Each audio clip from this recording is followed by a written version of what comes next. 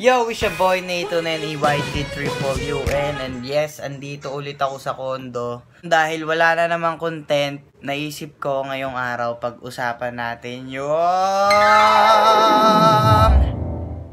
pag-ibig. Mamaya, pagbaba ko doon, may makakausap tayo about dyan sa pag-ibig na yan. Kung ano man yan, nakakain ba yan or nagagamit ba yan, ewan ko kung ano yan. Napakasarap na umaga with napakasarap na Gemma. Hapon na. Hapon na pala. Ayun no, sarap ng ano namin, brunch namin, breakfast plus lunch. Talong, no? Sabay yung Mr. Pogi namin kasama, nagigitara. Siya nga pala yung nakita nyo nag-viral sa jeep. Ayun. Walang pamasahe. Walang pamasahe. Ito yung pinakamalaking katawan na kagrupo ko. Jello. Oh, puta. Ano yung vlog na naman? Oo, tol. Seryoso? Vlog nga, yan. Pakita mo yung utong mo. Ayos! Laki ng chest ni Gago eh. May bago ako nalaman. Si Jello. Chismoso yung dating ng vlog ko. Ayun. Si Jello nga po pala, hindi pa nagkakaroon ng girlfriend. Really, nigga? Kaya sa mga babaeng trip nyo yung nagtututbrush everyday, si, si Jello na ang para sa inyo. Tapos, ang matindi nun, ano, si Gemma, ikaw magsabi. Virgin! Virgin pa daw si Jello, guys. Para siyang si Nathan, para niya sinabing, Uy, Tan, ako ikaw. Bakit parang se... Parang sinis. Talaga ba? Sabi ni Jello, di tol, virgin pa nga ako. Sabi ko, eh, ba't parang sinabi mo yung pangalan ko? Hindi, parang nga kung ikaw eh, sabi niya. Talaga ba? wow, talaga. Yun no? Jello, baka may makahanap ka dyan ng sa tatanggal mga- ng pagka-virgin mo. Bagong gising pa kasi ako eh. Bali, ano. Pero, Yan si Sander Ford nung lumaki yung bata. no, no, no, no. Content natin is, yung mga taong nagmahal tas nasaktan tas hindi na naniwala. Alam niyo. Yun, yun yung pinaka pinag-uusapan namin ngayon. Ang pinakakausap ko ngayon, as usual, si Ate Gemma. Si Ate Gemma kasi, pag pinag-uusapan namin yung usapang pag-ibig, nararamdaman namin may something sa kanya na kung bakit hindi na siya naniniwala doon. talaga ba? So yun, Ate Gemma, ano yun? Kasi si Ate Gemma nga pala, guys, tinatanong ko siya kung paano mangyayari kung sakaling may taong dumating sa kanya, tapos i-offer sa kanya yung pagmamahal na yon kahit anong flaws niya. Ang sagot niya sa akin is, hindi daw siya maniniwala. Kasi ayaw daw niya mag-boyfriend. Ang gusto ko malaman, bakit hindi siya naniniwala? Siyempre, tangina, Mahirap kasi masaktan. kaya siguro ganyan ka ngayon kasi nasaktan ka na ng matindi. Guys lang naman. Oh. oh, yun. Nalaman na natin yung isang sagot na tinatago niya sa amin. Twice daw siyang nasaktan. Talaga ba? Tas ang likot ng vlog ko, no? Oh, no, Gemma. Ano? Question. Paano kung sakaling may lalaking na in love talaga sa'yo? Tas handang i-offer sa'yo lahat ng bagay. Wala namang lalaki na inlove sa bakla. Meron, Ate Gemma. Merong mga lalaking na in love sa bading. Wala. Si Nathan. si Nathan. Maniwala ka walang lalaki na bakla. Meron. Wala nga. Si Ate Gemma yung pinaka-negative pagdating sa usapang pag-ibig. Hmm? Totoo naman kasi yun. Diba, yun na yung pinaniniwalaan niya. Yun na yung point of view niya sa ibang lalaki. Kaya sa lahat ng mga nasaktan, huwag niyong ilahat. Hmm? Hindi lahat. Talaga ba? Hindi lahat. Ito pa si Ate Gemma, oh. Seseryoso sa inyo. Walang lalaking nagmamahal sa bading. Meron, Ate Gemma. Wala nga. Hindi ipaparamdam sa'yo ni Lord yan kung alam niyang masasaktan at di ka lang makakabangon dyan.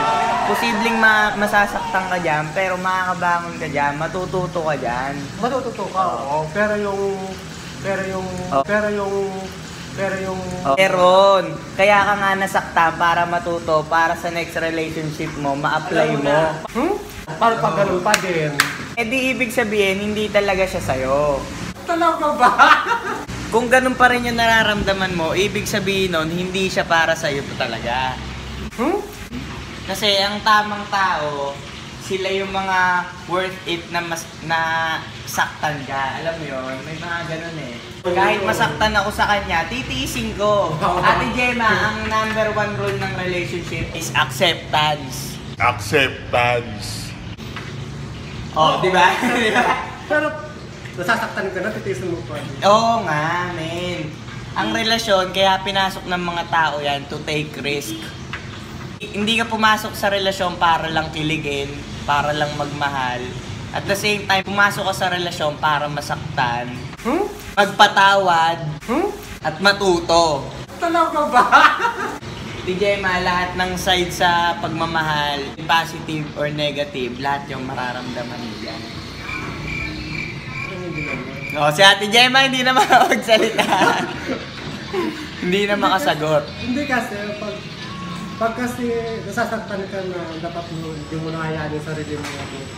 Patuloy ko pa rin nasasaktan. Oo, andun na tayo sa point na pag nasasaktan ka, syempre kailangan mo ma-prevent yung, sak- yung sakit na yon. Pag nasaktan ka, oo, matututo ka doon.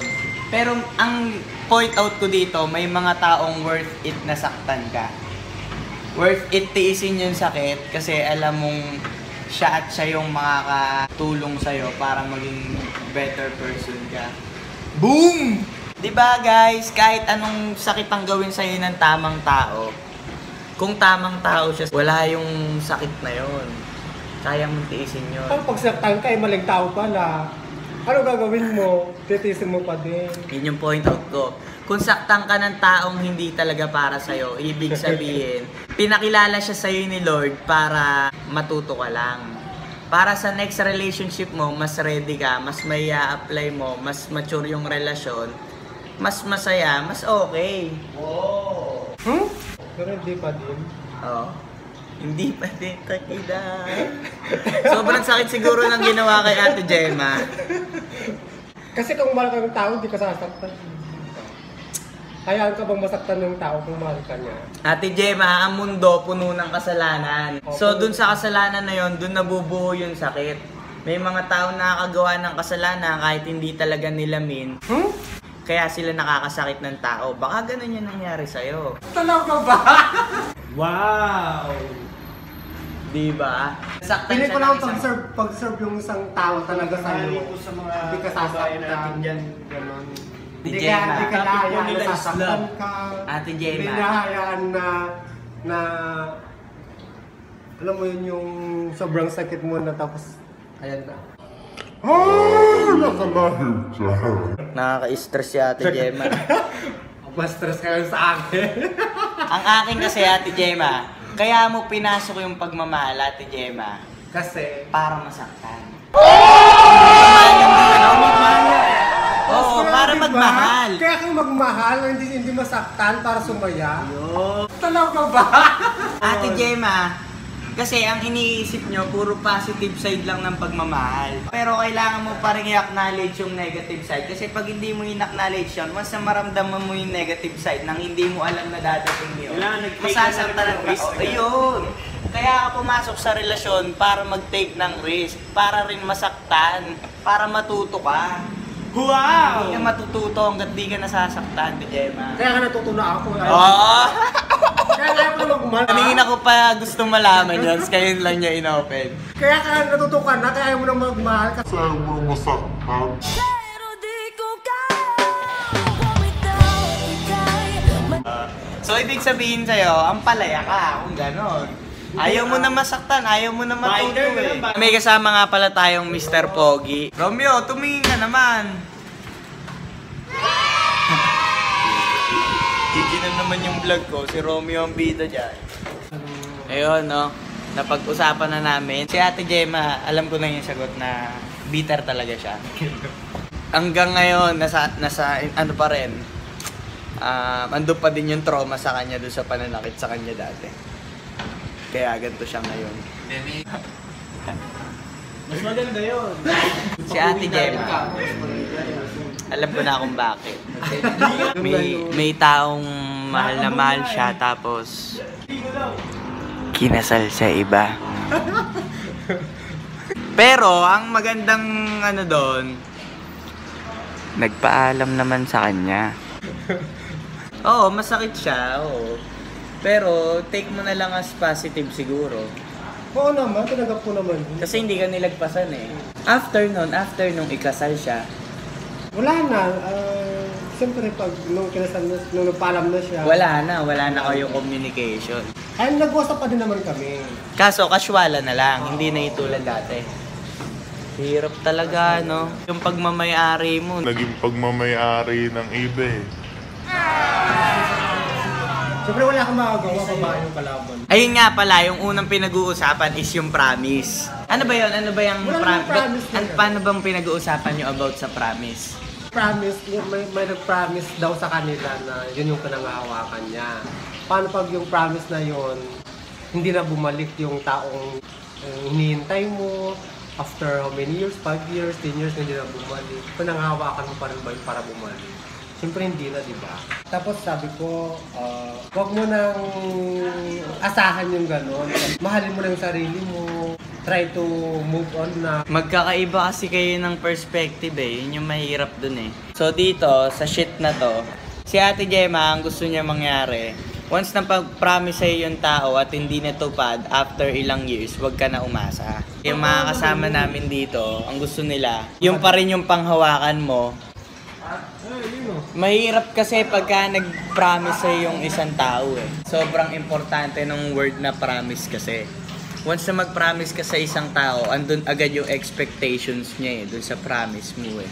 Talaga ba? So, ang pinaka-safe dyan is wag ka na mag-promise, di ba? Hmm? Daanin mo sa action. Oo. Di ba Kasi kung ganun? magpa-promise ka, may tao kang paaasahin. Aasahin. Paano pag pumasa ka sa wala? Di kawawa ka, di ba? Mahirap talaga yung umasa sa wala. Point ko na. Paano pag di siya bumalik, di umasa ka lang? Hanggang kailan ka umaasa? Na hindi mo alam yung sarili mo, nagiging tanga ka na. Yun yung pinakamaganda kong narinig kay Ate Gemma so far. Para sa akin, depende siguro yan sa pagsasama. eh. Depende dun sa sa pundasyon na nabuo nung dalawa sa isang relasyon. Kung gaano mo kakilala yung isang tao, kung paano siya nag-promise sa'yo. Yun yung pinakapangahawakan mo, hindi yung promise niya, yung tao itself. Paano pag two months pa lang kayo? O ayun, kung 2 months pa lang kayo, kung sakaling iiwan ka niya ng 2 months, tas nag-promise siya sa'yo, depende na yun sa reason eh. Paano kung yung reason niya, hahanapin niya yung sarili niya? Ay putang ina niya, hanapin niya yung sarili Oh, ganun niya. na. Mawala na lang siya. Paano pag gano'n yung rason? Yun nga yung rason. Ay putang ina, wala tayo sa outer space para hanapin mo yung sarili mo. Oh, Wala tayo doon. So yun, sa lahat ng makakapanood nito na may jowa, guys, wag na lang kayong mag-promise. Talaga ba? Mas mabuting gawin nyo na lang. Even sorry nga eh. Hindi mo kailangan mag-sorry sa isang tao Hmm? kung min mo Ako talaga na shit. Pag bumalik ka, gagawin. Parang huwag ka na mag-promise. Kung gusto mo bumalik, i-surprise mo na lang yung tao. Mas masaya pa. Mas Kung babalik ka, wag ka mag-promise na babalik ka. Bumalik ka na lang. Mahirap kasi pagka umalis ka, tas sabay promise kang babalik, andun agad na shit, babalik siya. Kailan kaya? Asan kaya na siya? Tagal ko na nag-aantay. Wala, babalik pa ba siya? Ay, mabubuo yung thought na yon. Masakit yun. So ayun, napag-usapan na namin about naman dun sa promise. Wala kasi talaga akong content. Kaya yun, sa mga nakakapanood, mag-comment din kayo ng mga ano, huwag kayo puro nood lang. Wala niya kayo eh. Hmm?